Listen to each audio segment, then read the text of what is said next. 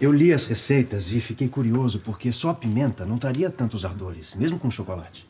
Então qual é o mistério? A minha mãe era cigana, vocês sabem. E eu ainda tenho comigo alguns livros sobre magia cigana. Os ciganos sabiam fabricar poções amorosas. Poções que despertavam a paixão. Oi, e eu conheço a fama dos ciganos. Eu examinei as receitas, dona Carmen. Elas são muito parecidas com essas poções. Por isso é que são mágicas e irresistíveis. O Ludovico, meu pai, se inspirou nas receitas que a minha mãe deve ter deixado para ele. Por isso é que essas receitas são tão diferentes. Eu estranhei quando nós fomos comprar os ingredientes. Sim. Tem cravo, noz moscada. Miguel. Então eu não posso mais fabricar esses bombons. Posso. Não é justo fazer isso com as pessoas. Fui eu que fiz. É, e esse aqui fui eu. Como vocês desenham bem, meninos. né? É, mas até hoje eu tinha vergonha de mostrar os meus desenhos. É, eu também. Não, não, bobagem, bobagem. Isso é bobagem. Eu acho que vocês devem ir logo comprando as tintas, os pincéis e começando a fazer os quadros. Não, eu digo isso porque eu acho que pode dar um bom dinheiro. Ah, Beto, nós não temos dinheiro para comprar tintas. Bom, eu acho que isso aqui. Acho que dá pra começar, não dá? Bom, vamos logo começar esse trabalho. Vamos logo. Agora, promessa, hein? O primeiro quadro é meu. Os meninos passaram a noite pintando e a Cássia suspirando. Eu também andei suspirando. Suspirando? Por quê? Coisa minha, Vera. Coisa minha.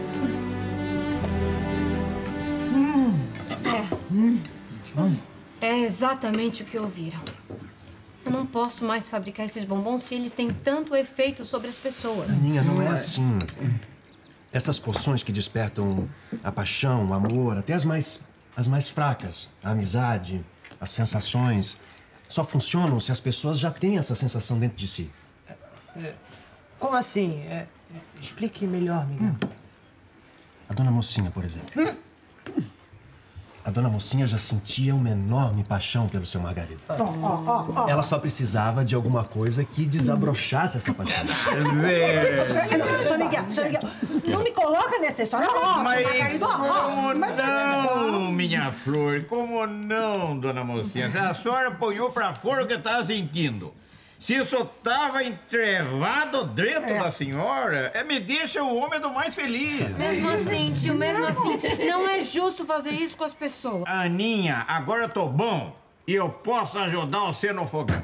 E eu tenho o maior orgulho de você, que você tem coragem de ter começado sozinha. Mas agora eu tô bom e nós vamos trabalhar junto, lado a lado na história. E digo mais pra vocês.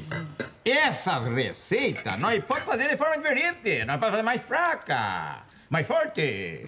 Mas será que pode dar certo? Mas é claro que vai dar certo. Eu não disse pra você, Ana Francisca, que o segredo de quem faz um doce, de quem faz um bombom, um chocolate é o amor. Se você oferece um bombom pra uma pessoa, eu mesmo que dizer pra ela, eu te amo. Como, como quando se dá flores. Esse, esse, esse mesmo! E essas receitas do Ludovico nós podemos fazer de forma diferente. Nós aproveitamos os ensinamentos do livro que ele escreveu e nós muda. E quando vai vender os doces, os bombons, nós diz pro freguês, se quer mais ardidinho, leva esse. Se quer mais levezinho, leva aquele. Vocês não fizeram, não fizeram os embrulhinhos de cor diferente? Não vem vermelho, que vai, que foi? Vermelho. Azul e, mais, e rosa, mas só três cores. Minha Nossa Senhora, tem cor que não acaba mais nesse mundão de Deus. O senhor está certo, tio, está certo. Nós vamos fazer bombons de muitas cores. E vamos despertar o sorriso, o amor, a alegria, a paixão das pessoas. Nós vamos despertar um arco-íris de sentimentos. Assim que a